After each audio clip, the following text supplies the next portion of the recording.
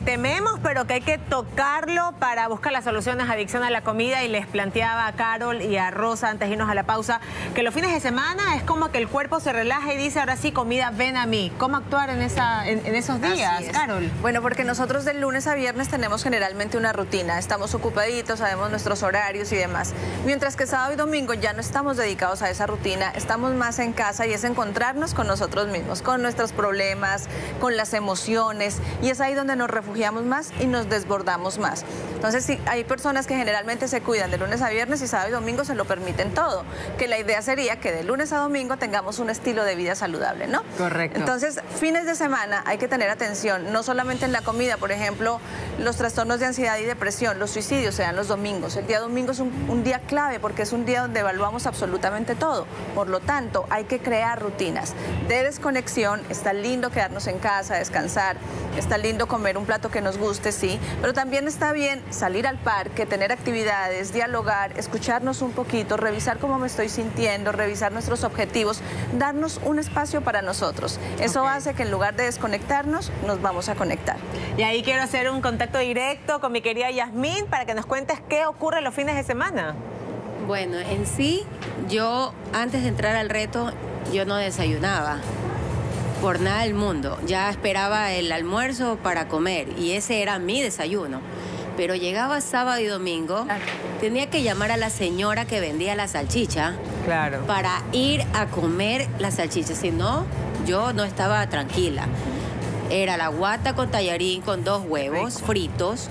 Entonces, es el cambio drástico que he tenido a, la actualidad que estoy ahora. Qué hermoso, la verdad que nos da mucho gusto escuchar esas historias de superación en ese, en, aspecto. Y Rosa, ahí quiero yo plantearte directamente esa pregunta. ¿Cómo diferenciar entre el hambre emocional y el hambre fisiológico? Bueno, el hambre emocional parte desde un antojo. Yo necesito un alimento en este momento y un alimento en específico. El hambre fisiológica puedes tener apetito, parte muchas veces desde el estómago prácticamente y viene un proceso como va subiendo cada vez más mientras tú no le das el alimento. Y consumes un alimento sin especificar cuál y se te, se te calma, o sea, te quedas saciado. En cambio, en el hambre emocional, no quedas saciado hasta no consumir el alimento que quieres en ese momento. Ahí diferenciamos un poquito. Ahora, ¿cómo combatir eso? No sé si les pasa a ustedes, chicas, pero yo, yo voy a poner un ejemplo que a mí me ocurre. Cuando yo estoy en mi periodo menstrual, me quiero acabar todos los dulces que se me pasen por mi frente.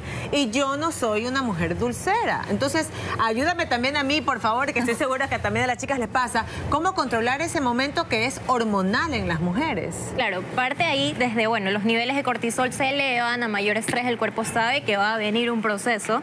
Entonces empiezas a tener eh, esta ansiedad por comer dulces, justamente. Necesitas azúcar, sientes un dolor, tu cuerpo necesita azúcar. ¿Cómo lo puedes controlar?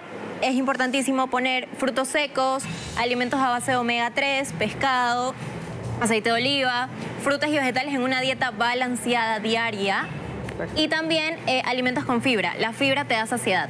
Y con eso tú puedes ir eh, mejorando el tema de la alimentación. ¿Dónde está la fibra? Cereales integrales, eh, también pan integral, en general, pues no harinas integrales. Lo haré en el siguiente periodo para de alguna manera eh, poder controlar eso. Carol, no quiero dejarte ir sin antes que nos des claves necesarias para poder manejar la adicción a la comida. Bueno, muy importante primero trabajar nuestra autoestima, identificar nuestras emociones. No conocemos qué estamos sintiendo, entonces yo los invito a que tengan un registro emocional y a que también tengan en cuenta antecedente, conducta y consecuencia. Siempre escrito. ¿Qué significa esto?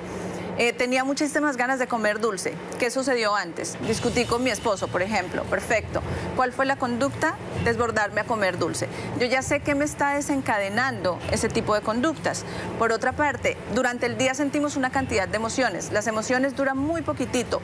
Los sentimientos permanecen en el tiempo. Entonces voy a registrar ¿Qué sentí? ¿Dónde lo sentí? Sentí algo en el estómago. Luego de eso sentí palpitaciones. Después de eso grité. Estoy aprendiendo a identificar qué siento, cómo se llama y cómo se manifiesta en mí. Cuando me conecto conmigo, empiezo a resolver primero lo que siento, lo expreso y me centro en la solución externa. De lo contrario, voy a ir directo a la comida a satisfacerme para lograr ese equilibrio que necesito. Entonces es escucharnos más, tener en cuenta quiénes somos, que somos seres humanos, que no está mal sentir, que hay que aprender a revisar para qué vino esa emoción y así seguramente no nos vamos a desbordar. Es un trabajo continuo de, de autoconocimiento, un trabajo que requiere este compromiso con nosotros mismos, pero realmente tiene unos resultados muy bonitos. Qué hermoso, la verdad. Y si tenemos que ver este video mil y un veces, veámoslo para que de alguna manera podamos cambiar estas actitudes que no nos conducen a nada. Gracias, nuestra nutricionista Rosa Lavanda del Reto Baja Talla 3 y gracias, Carol Obando, nuestra psicóloga, por habernos acompañado.